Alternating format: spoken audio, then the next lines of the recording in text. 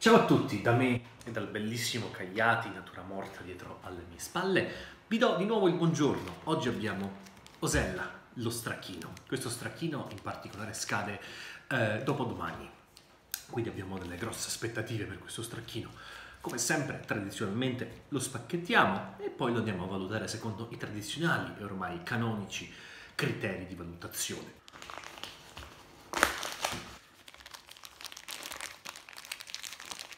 Mm.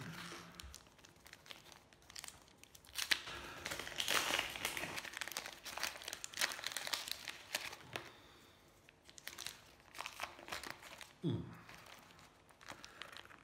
Gli immutabili canoni sono sempre quelli. Consistenza, sapidità e dolcezza, oppure rotondità, eh, intendo la stessa cosa. Vediamo.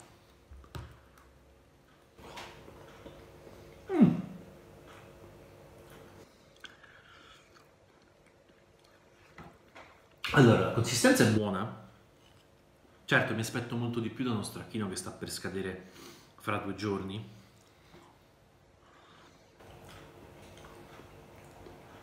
Poteva essere migliore, tre.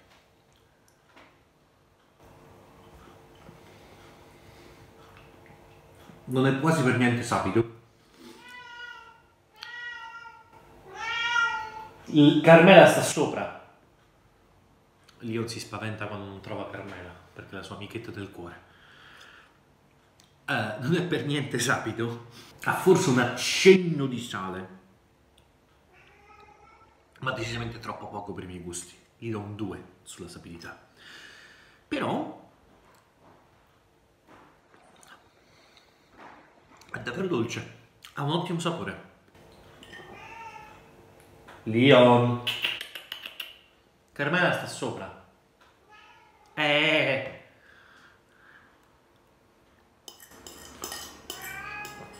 La dolcezza è un... Mo di tiro di sotto. Non si esce. Sei stato fino a mo' fuori. No. Fino a mo' sei stato fuori. E che cavolo.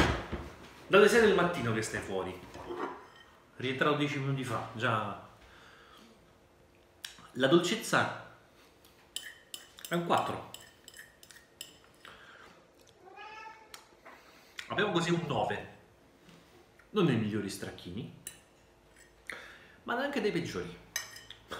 Lo stracchino è sempre buono, quindi è letteralmente il formaggio perfetto. Avete pre-